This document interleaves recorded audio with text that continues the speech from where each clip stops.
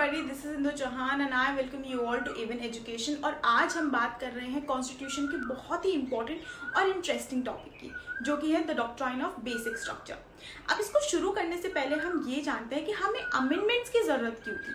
सो so, जब हमने constitution बनाया था 1950 के अंदर उसमें हमने सभी के राइट्स चाहे वो माइनॉरिटीज़ को लेकर हो चाहे वो सोशल राइट्स हो पॉलिटिकल राइट्स हो या किसी भी तरीके के राइट्स हो सभी को देखते हुए हमने कॉन्स्टिट्यूशन बनाया।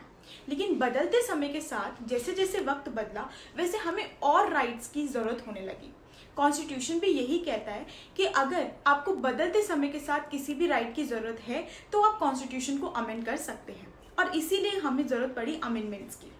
लेकिन अगर अब हम बात करते हैं अमेंडमेंट्स की, इसी चीज़ को लेकर जो पावर दी गई, वो कॉन्स्टिट्यूशन में दी गई आर्टिकल 368 में, जहाँ ये कहा गया कि पार्लियामेंट के पास पावर है कि वो किसी भी प्रोविज़न को कॉन्स्टिट्यूशन में अमेंड कर सकती है। लेकिन अब क्या जो ये अमेंडमेंट की पावर है, ये एब्सोल्यूट है? इस पर कितना लिमिटेशन है? कितनी पावर को यूज़ करते हुए ये कितनी अमेंडमेंट्स कर सकती है? इन्हीं सब का चीज़ का आंसर हम देखेंगे आगे की वीडियो में। अब बात करते हैं आर्टिकल 368 की, जो ये कहता है कि पार्लियामेंट के पास सभी राइट्स हैं कि वो किसी भी चीज़ को अमेंड कर सकती है। दूसरी तरफ़ आता है हमारा आर्टिकल थर्टी जो ये कहता है कि पार्लियामेंट ऐसा कोई भी लॉ नहीं बना सकती जो फंडामेंटल राइट्स के वॉयलेटिव हो। अब यही क्रिएट होता है कन्फ्यूज़न क्योंकि जहाँ ये दोनों आर्टिकल्स एक बात कहता है कि आप कुछ भी अमेंड कर सकते हो और एक कह रहा है कि आप फंडामेंटल राइट्स को ब्रीच नहीं कर सकते। और इसी चीज़ को आंसर दिया गया इंडियन जुडिशरी ने बहुत सारे केस लॉस के साथ। और जिसमें जो one of the important case है द केशवानंद भारती केस जिसमें हमारा आया डॉक्ट्राइन ऑफ़ बेसिक स्ट्रक्चर शुरू करेंगे हम एक सीरीज़ ऑफ़ केसेस के साथ और वहाँ पे पहुँचेंगे फिर हम केशवानंद भारती पे। सबसे पहले बात करते हैं हमारे शंकरी प्रसाद के केस की। अब ये केस कैसे रिलेटेड है? फ़र्स्ट अमेंडमेंट एक्ट से। क्यों? क्योंकि इसमें फ़र्स्ट अमेंडमेंट एक्ट को चैलेंज किया गया था कि जो फ़र्स्ट अमेंडमेंट एक्ट है, वो फंडामेंटल राइट्स को वायलेट करता है। कैसे? जो फ़र्स्ट अमेंडमेंट एक्ट है, उसमें क्या अमेंडमेंट लाए गए? पहले मैं आपको वो बता देती हूँ। सबसे पहला, जो आर्टिकल थर्टी वन है राइट टू प्रॉपर्टी को डील करता है, उसमें थर्टी वन ए और थर्टी वन बी को ऐड किया गया।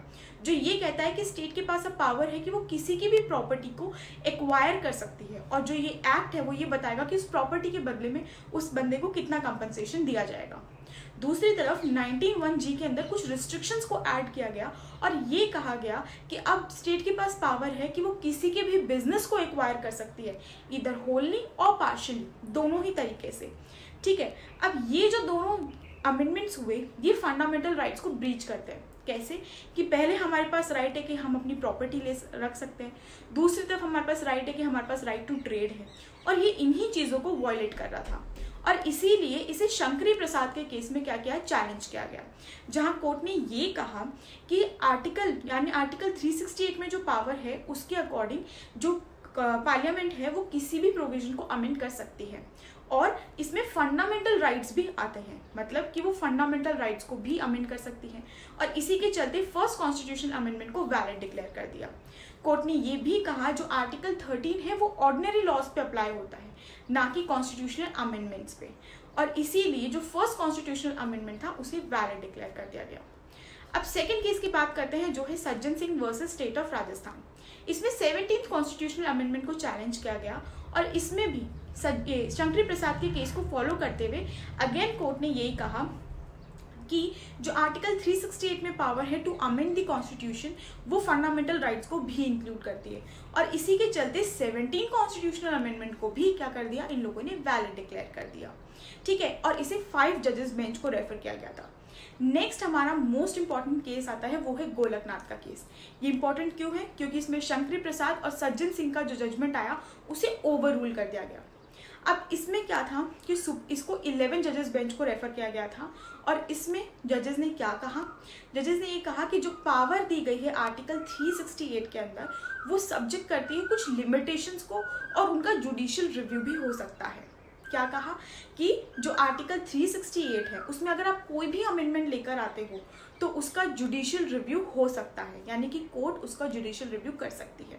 दूसरा ये कि जो आपकी पावर है, वो एक लिमिटेड है। आप कुछ भी अमेंड नहीं कर सकते हो कि आपका जो मन हुआ आपने वो अमेंडमेंट कर दिया।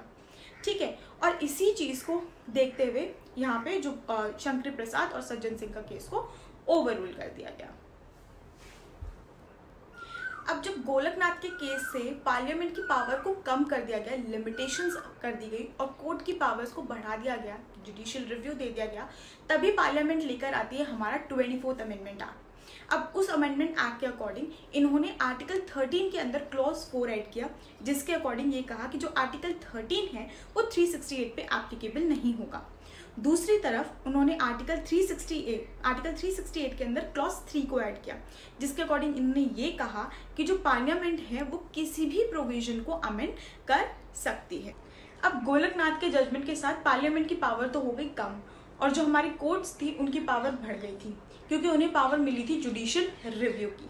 अब जैसे ही पार्लियामेंट की पावर कम हुई, वैसे ही वो लेकर आते हैं ट्वेंटी फोर्थ अमेंडमेंट एक्ट जिसके थ्रू वो दो प्रोविजंस ऐड करते हैं। आर्टिकल 368 में उन्होंने ऐड किया क्लॉज थ्री जो ये कहता है कि कोई भी अमेंडमेंट आर्टिकल 13 में फॉल नहीं करेगा।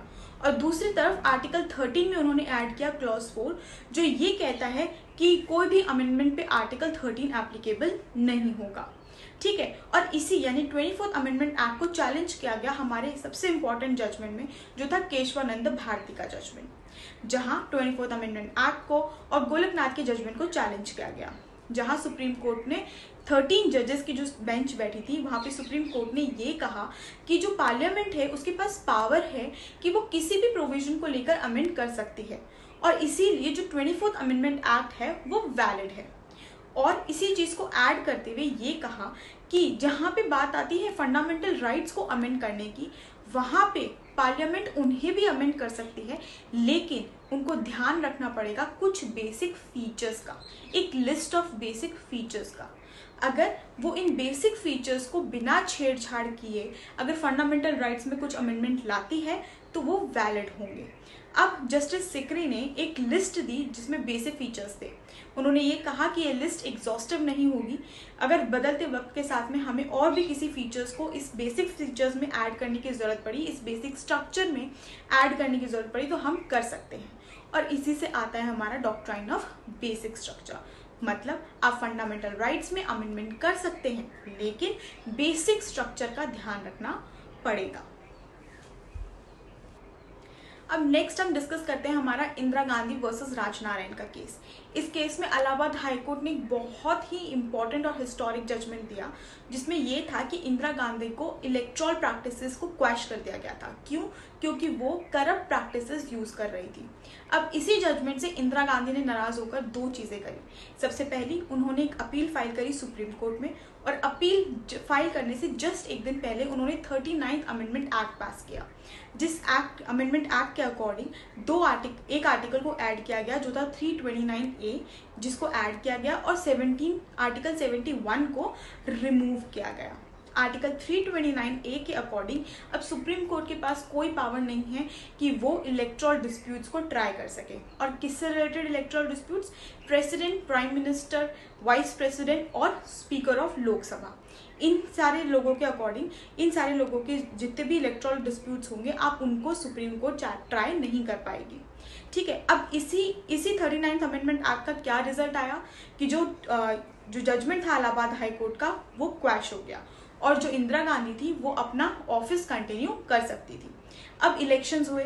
इलेक्शंस का ऐसा रिज़ल्ट आया कि इंदिरा गांधी इलेक्शंस हार गई थी। और जो हमारे न्यू प्रेसिडेंट बने, उन्होंने क्या, जो हमारे न्यू प्राइम मिनिस्टर बने, उन्होंने क्या किया?